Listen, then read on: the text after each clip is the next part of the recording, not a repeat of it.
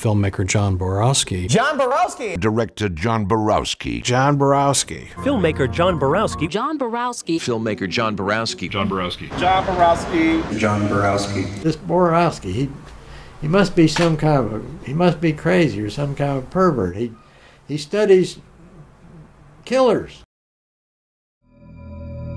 Torture chambers, secret passageways, vats of acid and deadly vaults. Few human beings are ever remembered for leading unparalleled lives of perversion and evil. In my lifetime, I have murdered 21 human beings.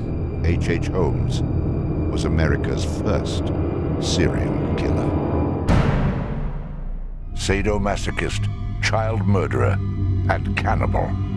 He was Albert Fish. I hate the whole damn human race including myself. I am Carl Panzram.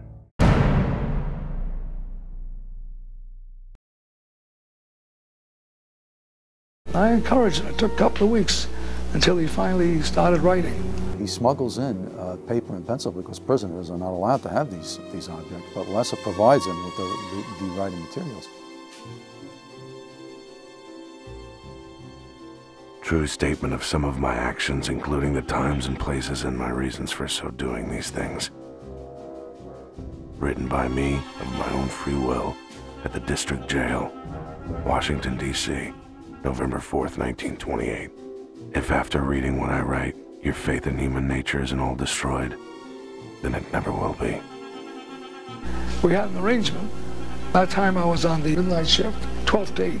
So we arranged that when he gets through writing 10, 15, 20 pages, he should leave it on the bar of his cell.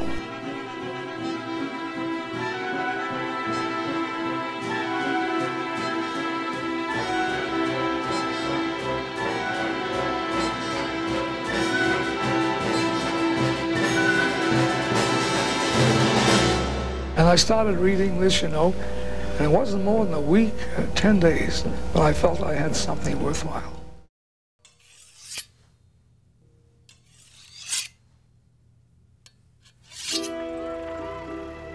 The innocence of America shone through in the early decades of the 20th century as parents let their children play unattended and unguarded on the streets of New York.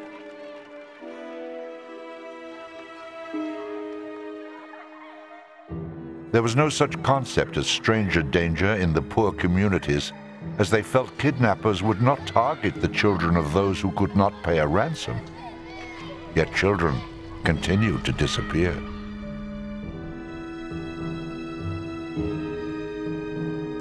He felt driven to torment and kill children. Sometimes he would gag them, tie them up, and beat them, although he preferred not to gag them, circumstances permitting, for he liked to hear their cries.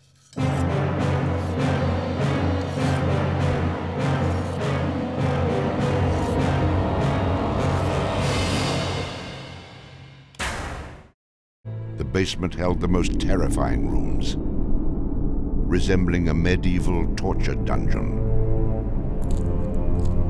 Acid vats, quicklime pits, and a crematorium disguised as a glass-bending furnace were Holmes's favorite methods of immediate body disposal.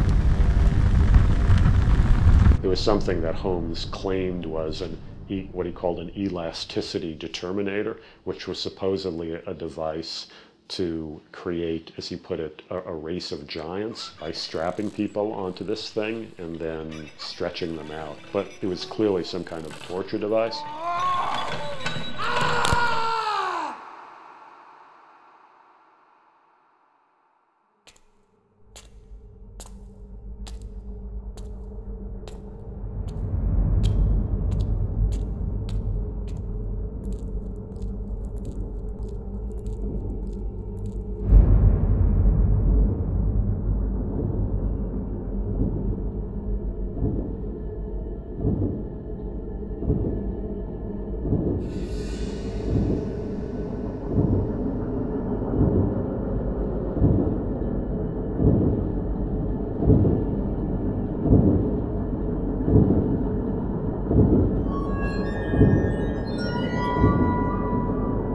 After cleaning and mounting their bones, Holmes would profit from his victims by selling their skeletons to local medical schools and universities.